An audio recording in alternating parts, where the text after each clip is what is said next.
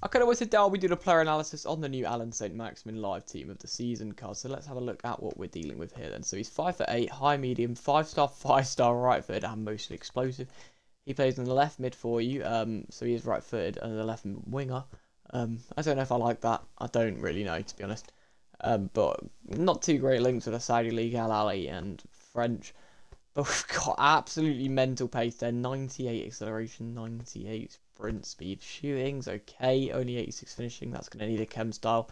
Passing, yeah, it's good, but nothing special. Dribbling, though, is absolutely mental. And then defending and physicality are great. Uh, this is going to be a really, really insane card off the bat. We can see.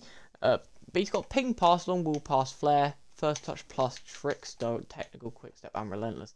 Um, I need to have a look at Al Ahli I have no idea what the Saudi League's like. I'm not a Saudi League follower. But Al Ahli are third in the league.